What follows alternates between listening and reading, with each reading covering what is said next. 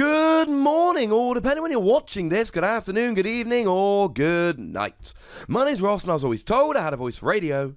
So today, we're going to be having a little bit of a look at a brand new tool which can really help out your Ultra Beast. Because if there's one thing that Ultra Beasts need right now, it's more help and more support.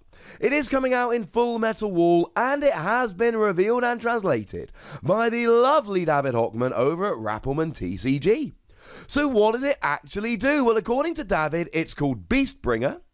And if you have six prize cards and the Ultra Beast this card is attached to, knocks out your opponent's active Pokemon EX or GX by damage from an attack, you take one additional prize card. Now, it's an early game thing. It's only when you've got six prizes remaining. But, ladies and gentlemen, this is a rather redonkulously good card which can really, really help you here in the early game. And as I'm thinking this through, honestly, my first thought here, my first reaction is Blacephalon. You see, one of the things about Ultra Beast decks at the moment is they all love Beast Ring. And Beast Ring lets you search your deck for two extra energy and attach them to one of your Ultra Beasts, but only when your opponent has got three or four prize cards remaining which means it's not going to be that early on in the game, which could be potentially a little bit awkward. Now, to be clear, this is if you have six prize cards remaining. So if your opponent goes up by two or three prize cards, you can use Beastbringer on your first KO to take an extra prize, and that will combo with Beast Ring. You can combo this with Beast Ring. But most of the time, you're going to want to kind of jump ahead with this.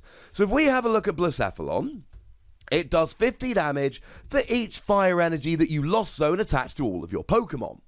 Now, generally speaking, you play it with Naganadel. Naganadel accelerates a whole bunch of energy, and then Blacephalon lost zones all that energy, and you get to, well, take a big prize.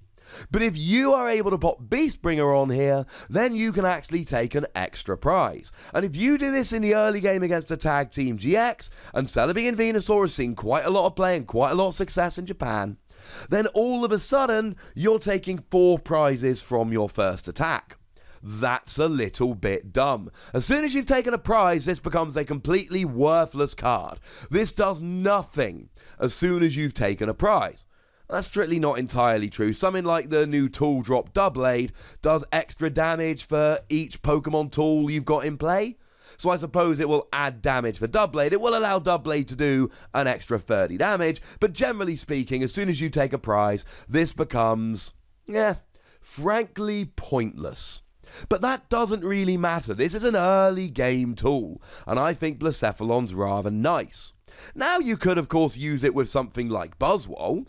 Buzzwole's got Jet Punch 30 to the active, 30 to the bench. But if you KO Zorua here, that is not going to work because you only get the extra prize if you KO a GX or an EX Pokemon. Now, the other thing that Ultra Beasts have is Beast Energy. Beast Energy lets you do an extra 30 damage to the active. And Buzzwole does have Diancie Prism Star, which lets you do an extra 20 to the active. And let's not forget about Choice Band. So actually here, if you're up against a Zoroark GX, if you can find both your once per deck Beast Energy and your once per deck Prism Star, your Diancie, bearing in mind Lizio will help you search for both of them, plus a choice band, you're doing 30 base, 30 for the Beast Energy, 30 for the Choice Band, 20 for Diancie Prism Star. That is 110, which will get a KO on a Zoroark, and you're taking an extra prize. No, you're not because of Choice Band. And this is one of the points I want to make about this card. It is a super awkward card. It's only when you knock out the active, so if you knock out a bench with Jet Punch, that's not going to do it. It is only an EX or a GX, so if you knock out a non GX, you're not going to do it. And it is a tool, so you're taking away damage that you would be able to have from Choice Band. So you're essentially desperately trying to take out an EX or a GX, but you're not able to play Choice Band. And to Punishment takes a KO between turns, so that's not going to work. And that makes it a super awkward tool to use. Having said that, it lets you take an extra prize. The last time we saw this on an item card was Missing Clover, where it was an item card where you had to play all four of them at once to take a prize. That's not exactly the most reliable way to play the Pokemon trading card game. So, yeah, this is a super awkward tool that isn't always going to work. But you know what? It's kind of supposed to be that way. Because otherwise, it would be too gosh darn good. So, if you're playing Buzzwole, you need to spread a bit of damage in the early game and then come in and finish off. If you are playing an Ultra Beast, which you have to be for this, and your opponent goes down to three or four prizes before you've taken a prize, then this becomes really good. Because you can kind of go nuts with Beast Ring and then attach this and then go nicely. If you're using Blacephalon, you can set up a big KO early game, but it really does depend on what you're playing. Blacephalon is quite likely to take a big KO early in the game, whereas Buzzwole is more likely to start whittling Pokemon down in the early game, waiting for a chance to use Beast Ring. Maybe if you head over into the expanded format where it still has Max Elixir, and you can have much more explosive early turns, yes, this could be really nice. But as it stands at the moment, Blacephalon really does stand out to me as the best use for this. But I do kind of like Naganadel. Now, Naganadel Stack Attacker saw a little bit of hype and a little bit of success, and people were loving it, and then it disappeared off the face of the earth. Stack Attacker reduces damage done to your Ultra Beast by 10. And then you've got Naganadel, which has got 210 HP, but for a single energy, you do 20 damage for each of your Ultra Beasts in play.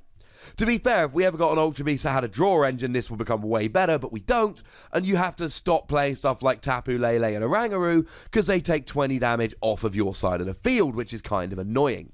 But 120 damage here means you can KO something like a Buzzwole because of the weakness. The problem is, what you really want to do is add a Beast Energy and a Choice Band to get a one hit KO on something like a Blacephalon and a Rayquaza, but you cannot have a Choice Band attached because you've got to have a Beast Bringer attached. So once again, we're into awkward territory. The other thing is, we've got a whole bunch of non GXs in terms of Ultra Beasts, which are really good later on in the game. So you've got something like Xurkitree that does 100 damage as a lightning Pokemon, and automatic paralysis if you've got three prizes remaining, at which point it's too late to use Beastbringer. We've got Nihilego that could actually work here, although it's very, very, very nerve wracking. So, one psychic energy. If your opponent has exactly two prizes remaining, choose one of your opponent's Pokemon's attacks and use it. It's literally Zoroark GX's GX attack. You just get to copy any attack from your opponent's side of the field. So, what you can essentially do here is copy an attack that can KO an EX or a GX with Beastbringer and potentially take an extra prize.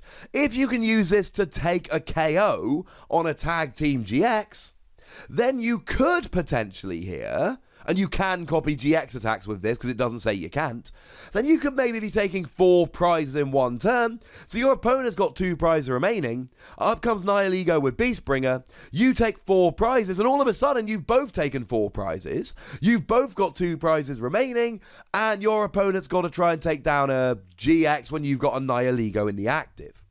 Beastbringer is an exceptionally difficult card to use. It is a real pain in the neck but it gives you an extra prize. In Blacephalon, it seems amazing. In other Ultra Beast decks, you're kind of waiting for Beast Ring. And then with Nihilego, it's amazing, but it's kind of nerve wracking because you've got to leave it to the last minute. And of course, we are left with the awkward situation here whereby you want to play four of these so that you are likely to draw into it early when you need it. But as soon as you play one of these and take a prize, it's kind of useless. Maybe you attach one early game and your opponent field blowers it so you need to go and grab another. But other than that, it's actually kind of annoying. And that's the big problem here. Because do you play many of these? Or do you just play one of these and hope to find it at the right time? And maybe you're playing a Alolan Ninetales so you can find it at the right time, maybe maybe you're not. It's such an awkward card to use. You've got to find it at the right time. It's got to be against an EX or a GX. You've got to have six prizes remaining. There's so many reasons not to play this. But you get an extra prize, which is about the best reason to play it. So, ladies and gentlemen, that's what I think about Beastbringer. I'm giving it four Wossies just because the potential here is off the charts. But I would like to know what you think about it. So please do let me know in the comment section. Go nuts! But please do remember the most important rule as always. Be nice, would ya? And then make sure you like this video, subscribe to this channel, follow me on Twitter at the Wossy, and Twitch for some live action at twitch.tv slash PTCG Radio. If you want to support the channel, get some bonus podcasts and all of that, head on over to patreon.com slash PTCG Radio, where you can do just that. And do make sure you're checking out youtube.com slash Plays, where we talk Transformers and Keyforge and other games that take our fancy. But by far the most important thing, as always, is to look after yourselves until next time. Thank you very much for watching. My name's Ross, and you've been watching PTCG Radio.